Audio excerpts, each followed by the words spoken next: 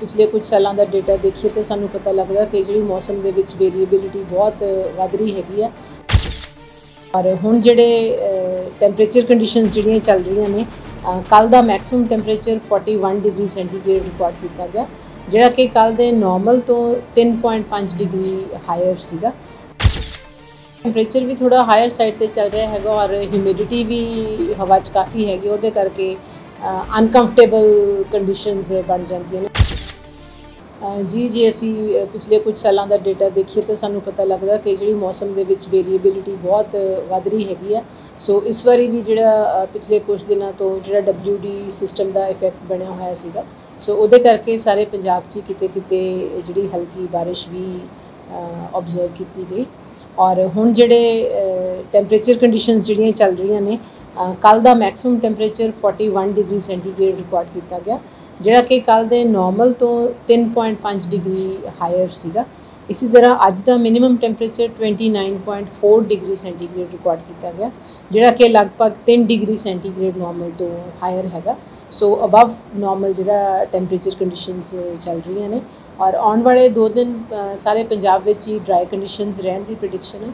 ਉਹਦੇ ਤੋਂ ਬਾਅਦ 24 ਤਰੀਕ ਨੂੰ ਫਿਰ ਕਿਤੇ ਕਿਤੇ ਹਲਕੀ ਤੋਂ ਦਰਮਿਆਨੀ ਬਾਰਿਸ਼ ਸਾਰੇ ਪੰਜਾਬ 'ਚ ਕਿਤੇ ਕਿਤੇ ਹੋ ਸਕਦੀ ਹੈ। ਹਮ ਕਹਿ ਸਕਦੇ ਵੀ ਆਮ ਨਾਲੋਂ ਥੋੜੀ ਜਿਹੀ ਜ਼ਿਆਦਾ ਗਰਮੀ ਜਾਂ ਕੁਝ ਦਿਨਾਂ 'ਚ ਦੇਖਣ ਨੂੰ ਮਿਲਦੀ ਹੈਗੀ ਅ, ਬਿਲਕੁਲ ਜੀ ਕਿਉਂਕਿ ਟੈਂਪਰੇਚਰ ਵੀ ਥੋੜਾ ਹਾਇਰ ਸਾਈਡ ਤੇ ਚੱਲ ਰਿਹਾ ਹੈਗਾ ਔਰ ਹਿਊਮਿਡਿਟੀ ਵੀ ਹਵਾ 'ਚ ਕਾਫੀ ਹੈਗੀ ਉਹਦੇ ਕਰਕੇ ਅਨਕੰਫਰਟੇਬਲ ਕੰਡੀਸ਼ਨਸ ਬਣ ਜਾਂਦੀਆਂ ਨੇ ਸੋ ਉਸ ਤਰ੍ਹਾਂ ਦਾ ਮੌਸਮ ਜਿਹੜਾ ਬਣਿਆ ਹੋਇਆ ਹੈ।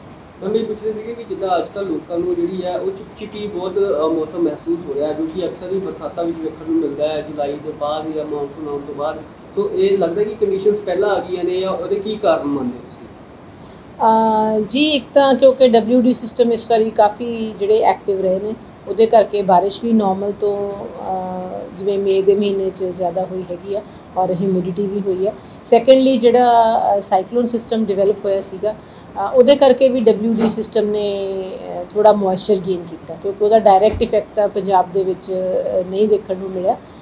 ਬਟ ਕਿਉਂਕਿ ਅਪਰ 에ਅਰ ਲੈਵਲ ਦੇ ਵਿੱਚ ਜ਼ਰੂਰ ਵਿੰਡਸ ਦੀ ਇੰਟਰੈਕਸ਼ਨ ਹੁੰਦੀ ਹੈ ਸੋ ਉਹਦੇ ਕਰਕੇ ਵੀ ਥੋੜਾ ਮੋਇਸਚਰ ਗੇਨ ਹੋਇਆ ਹੈਗਾ। ਔਰ ਵੈਸੇ ਵੀ ਹੁਣ ਵਿੰਡ ਡਾਇਰੈਕਸ਼ਨ ਵੀ ਥੋੜੀ ਚੇਂਜ ਹੋ ਰਹੀ ਹੈ ਸਾਊਥ ਈਸਟਰਲੀ ਵੀ ਵਿੱਚ ਚੱਲ ਰਹੀ ਹੈ ਸੋ ਉਹਦੇ ਕਰਕੇ ਵੀ ਜਿਹੜਾ ਮੋਇਸਚਰ ਥੋੜਾ ਵੱਧ ਰਿਹਾ ਹੈ। ਕਹਿ ਸਕਦੇ ਵੀ ਜਿਹੜਾ ਵਿਪਰਜੋਏ ਕਰਕੇ ਥੋੜੀ ਜਿਹੀ ਕ- ਜਿਹੜੇ ਇਨਡਾਇਰੈਕਟ ਅਸਰ ਜਿਹੜਾ ਨਾ ਕਿਤੇ ਜ਼ਰੂਰ ਦੇਖਣ ਨੂੰ ਮਿਲਦਾ। ਬਿਲਕੁਲ ਜੀ ਹਾਂਜੀ। ਡਾਇਰੈਕਟ ਪੰਜਾਬ ਦੇ ਵਿੱਚ ਨਹੀਂ ਸੀ ਬਟ ਥੋੜੀ ਜੀ ਮੋਇਸਚਰ ਗੇਨ ਜ਼ਰੂਰ ਵਿੰਡ ਸਿਸਟਮ ਨੇ ਕੀਤਾ ਉਹਦੇ ਕਰਕੇ। ਹਾਂ ਬਿਲਕੁਲ ਜੀ ਆਉਣ ਵਾਲੇ 2 ਦਿਨ ਹਲੇ ਟੈਂਪਰੇਚਰ ਦੇ ਵਿੱਚ ਅਸੀਂ ਕੋਈ ਚੇਂਜ ਨਹੀਂ ਐਕਸਪੈਕਟ ਕਰ ਰਹੇ।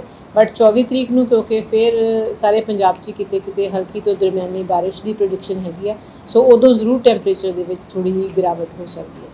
ਮੈਂ ਇਸ ਦਾ ਕੋਈ ਫਸਲਾਂ ਤੇ ਨੁਕਸਾਨ ਵਗੈਰਾ ਇਹਦੇ ਵਿੱਚ? ਅਹ ਨਹੀਂ ਜੀ ਕਿਉਂਕਿ ਜਿਹੜੀਆਂ ਖਰੀਫ ਕ੍ਰੌਪਸ ਲੱਗੀਆਂ ਹੋਈਆਂ ਨੇ ਉਹਨਾਂ ਨੂੰ ਮੋਇਸਚਰ ਦੀ ਲੋੜ ਹੁੰਦੀ ਹੈਗੀ ਆ। ਸੋ ਜੇ ਥੋੜੀ ਬਹੁਤੀ ਬਾਰਿਸ਼ ਹੁੰਦੀ ਹੈ ਤਾਂ ਉਹਦੇ ਨਾਲ ਸੋਇਲ ਮੋਇਸਚਰ ਹੀ ਐਡ ਹੁੰਦਾ। ਸੋ ਉਹਦਾ ਕੋਈ ਨੁਕਸਾਨ ਨਹੀਂ ਹੈਗਾ।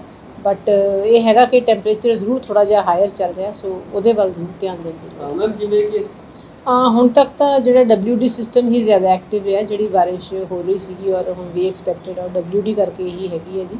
ਬਟ ਮੌਨਸੂਨ ਵੀ ਕਿਉਂਕਿ ਹੁਣ ਐਕਟਿਵ ਕੰਡੀਸ਼ਨ ਦੇ ਵਿੱਚ ਹੈ। ਸੋ ਲਗਭਗ ਨਾਰਮਲ ਟਾਈਮ ਤੇ ਅਸੀਂ ਮੌਨਸੂਨ ਐਕਸਪੈਕਟ ਕਰ ਰਹੇ ਹਾਂ ਪੰਜਾਬ ਦੇ ਵਿੱਚ।